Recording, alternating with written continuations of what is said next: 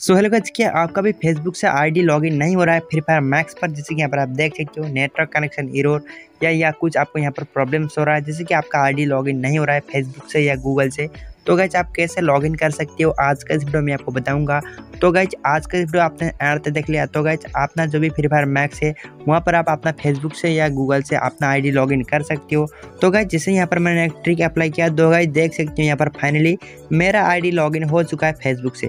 तो गैच आप भी उसी ट्रिक को यूज़ करके अपना फ्री फायर मैक्स पर अपना आईडी जैसे कि फेसबुक से या गूगल से लॉगिन कर सकते हो। तो गैच चलो बड़ा टाइम वेस्ट करते हो बड़ी स्टार्ट करते हैं। तो गैज आपको सबसे पहले क्या करना है अपने फ़ोन के प्ले स्टोर में जाना है और गैज वहाँ पर आपको वी पी एन सार्च कर देना है। जैसे यहाँ पर मैं वी पी एन सार्च कर देता हूँ। सार्च करने के बाद यहाँ पर आपको सबसे ऊपर तारबो वी मिल जाएगा। तो गैस इसको आपको इंस्टॉल करना है। जैसे कि मेरे पास ऑलरेडी है तो गैस यहाँ पर अपडेट दिखा रहा है। जैसे कि मैं अभी अपडेट नहीं करने वाला हूँ। तो गैस जैसे कि आप टार्बो वी या कोई वी आप किसी को भी आप इंस्टॉल कर सकते हो। और गैस उसको ओपन करना है। ओपन करने के बाद यहाँ पर आपको कुछ तरह का इंटरफेस देखने को मिल जाएगा। और गैस जैसे कि यहाँ पर आपको टैप टू कनेक्ट के ऊपर क्लिक करना है तो गैस ऑटोमेटिक कनेक्ट हो जाएगा।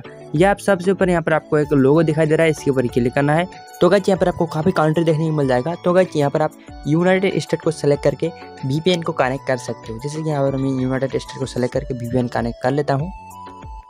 और क्या जैसे कि यहाँ पर आप देख सकते हो, ऊपर से एक नोटिफिकेशन आ चुका है वी कनेक्टेड जैसे कि यहाँ पर आप देख सकते हो तो गैस फाइनली वीपीएन कनेक्ट हो चुका है। तो गैस वीपीएन कनेक्ट होने के बाद आपको अपना फ्री फायर मैक्स को ओपन करना है। तो गाइज़ मैं फाइनली लॉगिन पेज पर आ चुका हूँ जैसे कि यहाँ से आप अपना फ्री फायर मैक्स पर फेसबुक से या गूगल से यहाँ पर आप लॉगिन कर सकते हो।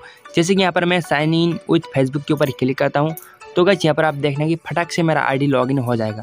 जैसे कि यहाँ पर आप देख सकते हो लोडिंग हो रहा है। तो गैस यहाँ पर आप देखिए तो फाइनली मेरा आईडी लॉगिन हो चुका है। तो गैस आप भी कुछ इस तरह लॉगिन करना।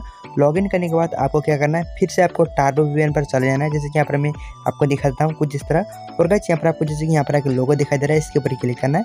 तो गैस यहाँ पर आपको डिस्कनेक्ट के ऊपर क्लिक करना है। तो गैस यहाँ पर आपको एक एड शो होगा। तो गैस आपका जैसे कि टार्बो वी जो भी वी आपने यूज़ किया था, वो डिस्कनेक्ट हो जाएगा। फिर से गैस आपको अपने गेम को ओपन करना है। तो गैस आपका गेम ओपन हो जाएगा। कोई भी वहाँ पर टेंशन वाली बात नहीं है, जैसे कि आपका आईडी लॉगिन हो जाएगा तो गैस आप आराम से खेल सकते हो और गैस कोई भी बैन होने का चांस नहीं होगा। तो गैस ऐसा कभी नहीं फिर नेक्स्ट वीडियो मिलता है, तब तक के लिए बाय